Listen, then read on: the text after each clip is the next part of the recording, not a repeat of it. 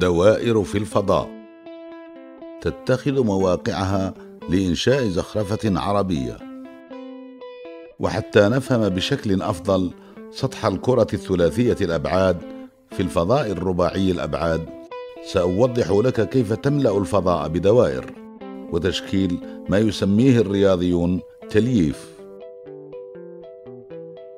أخبرك أن اسمي هو هاينز كوبف وأنا من رواد مطوري الطوبولوجيا خلال النصف الأول من القرن العشرين. انظر إلى هذا السطح الطاري المملوء بدوائر تبدو متعانقة. سأشرح لك هذا الشكل. الدوائر وسطوح الكرات والطارات تعتبر من أبسط الأشكال التي يدرسها عالم في الطوبولوجيا إنه يحاول إدراك الروابط الموجودة بين تلك الكائنات. لقد اشتغلت في برلين وبرينستون وزيوريخ وغالبا ما يظهر اسمي أيضا في رياضيات اليوم في نظرية بوانكاري هوف ولا متغير هوف وجبر هوف وتلييف هوف.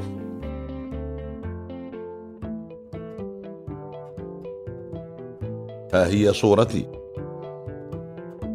لقد نشرت اكتشافي الخاص بالتلييف في عام 1931 لكن وكالعادة ينبغي أن أقول بأني اعتمدت على عدد ممن سبقوني مثل كليفورد الذي تراه هنا والذي اشتغل في إنجلترا خلال القرن التاسع عشر.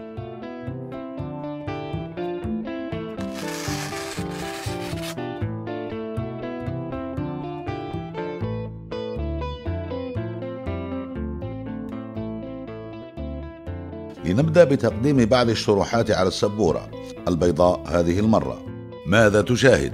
لعلك ستجيب بأن الأمر يتعلق بمستوى ثنائي البعد. الواقع أن هذا الجواب صائب وخاطئ في آن واحد. إنه مستوى ثنائي البعد لكنه مستوى ثنائي البعد عقدي أي فضاء رباعي الأبعاد حقيقي.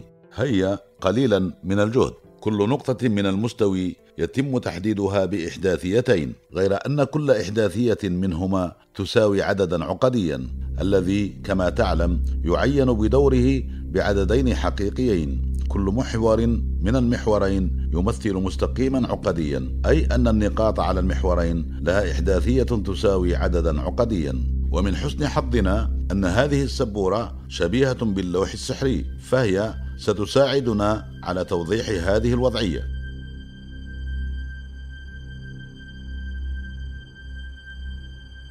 أنت ترى هنا مثلا النقطة 2 ناقص إي على المحور الأول ونفس الشيء على المحور الآخر وهو محور التراتيب.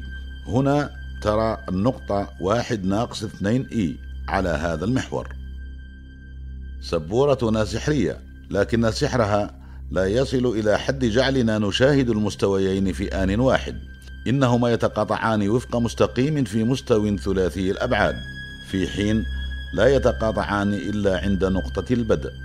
لاحظ أن الأمر لا يتعلق في الواقع بمحورين لا غير.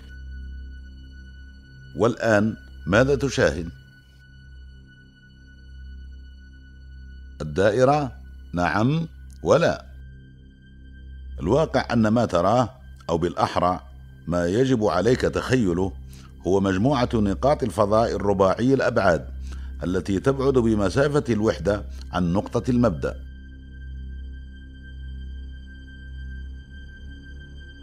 وبعبارة أخرى فهذه المجموعة ما هي سوى غلاف الكرة اس ثلاثة.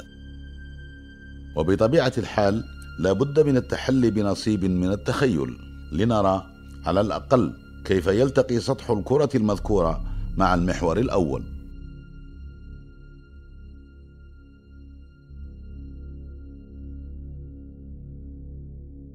يلتقي سطح الكرة S ثلاثة مع المحور الأول عند مجموعة نقاط هذا المحور التي تبعد بمسافة الوحدة عن المبدأ. سترى سطح الكرة S ثلاثة يقطع المحور الأول عند دائرة.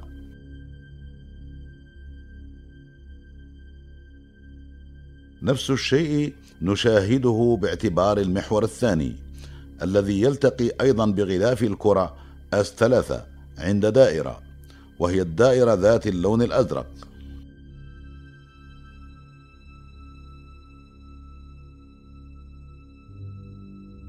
لكن ما هو صحيح بالنسبة للمستقيم الأفقي والمستقيم الشاقولي؟ صحيح أيضا بالنسبة للمستقيمات الأخرى التي تمر بنقطة المبدأ.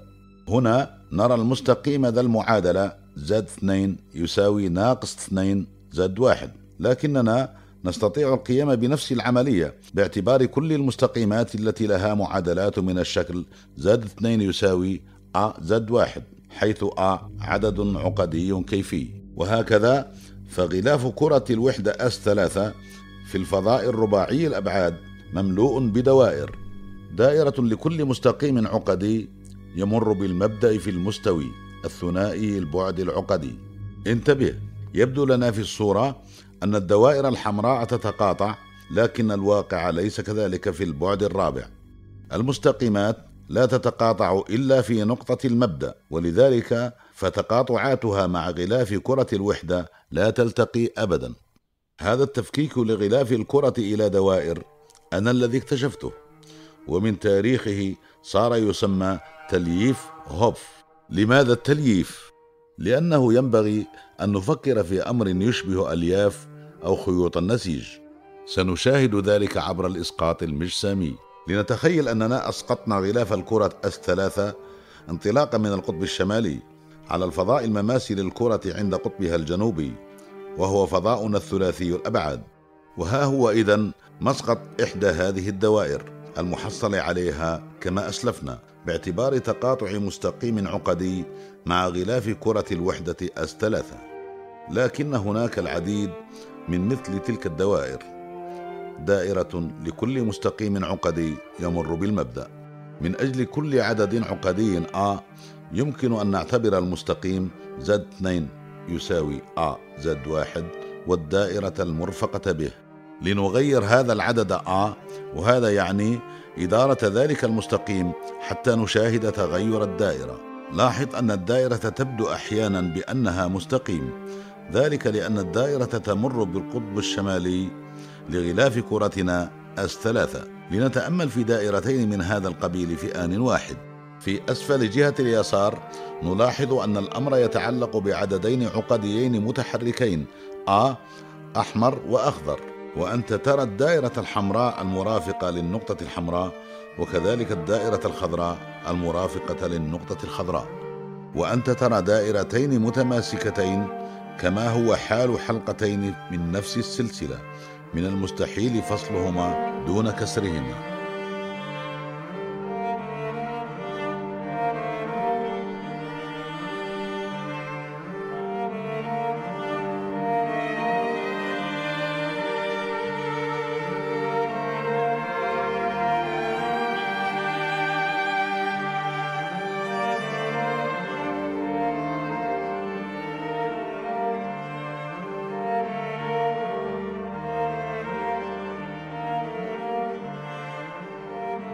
أجل الاستمتاع سنضع ثلاث دوائر معا. انظر إلى رقصة هذه الدوائر المتعانقة. دعنا نأخذ عددا كبيرا من المستقيمات العقدية بالصدفة تقريبا ونتأمل في كل هذه الدوائر في آن واحد لمجرد المشاهدة. الدوائر تملأ الفضاء وهناك اثنتان منها لا تتقاطعان. إنه مثال لبنية مليفة.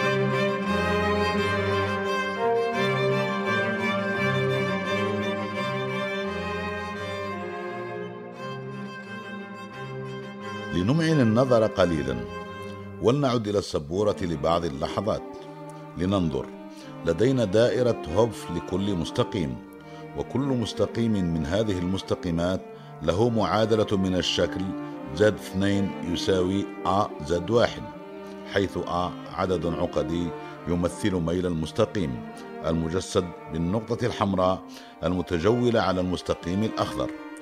الواقع أن المحور الشاقولي ليس له معادلة من هذا الشكل لكننا نستطيع القول بأنه ستكون من ذلك الشكل عندما يكون A غير منتهٍ لكن علينا ألا ننسى أيضا بأن A عدد عقدي.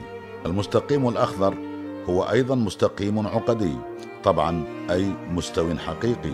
لنلخص القضية المستقيمات العقدية التي تهمنا تصفها تماما نقطة من هذا المستقيم العقدي. دون أن ننسى إضافة نقطة اللانهاية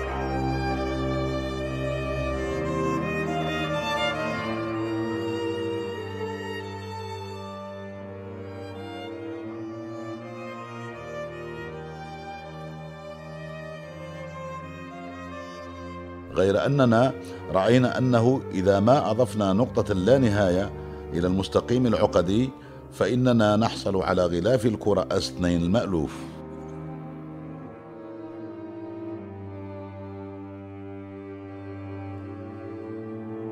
يتعلق الأمر هنا مرة أخرى بالإسقاط المجسامي. وهكذا فالمستقيمات العقدية التي تهمنا تصفها نقاط غلاف الكرة الأصفر غلاف الكرة S2 الثنائي البعد. ومن ثم تكون لدينا دائرة عبر كل نقطة من S2 لكن بدل دائرة يمكن الحديث عن غلاف كرة بعده واحد أليس كذلك؟